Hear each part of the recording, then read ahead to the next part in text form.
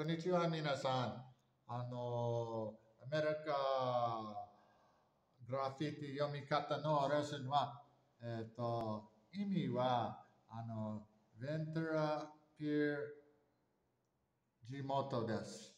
えっ、と、この辺は、あの、サーファーのヤンキーです。